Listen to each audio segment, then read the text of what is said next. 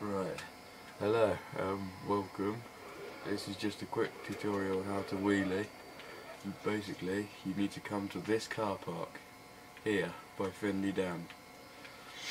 Okay, it's down here and then it doesn't really show it on the map. So you come into the car park and you have to reverse into the uh, the curb by the barrier. But you have to hit this curb here.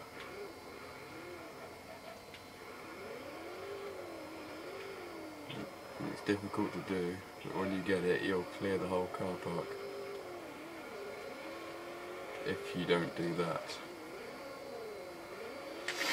I'll probably fast forward this bit and um, and just to make sure, uh, the car that you're using has to be rear wheel drive and the engine has to be in the back, otherwise it won't work.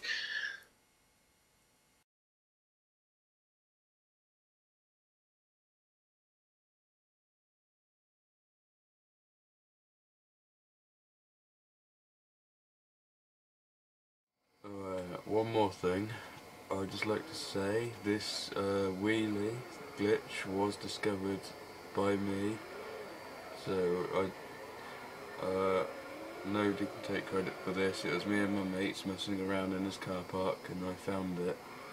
Um, so yeah, I didn't see any videos. This is all me.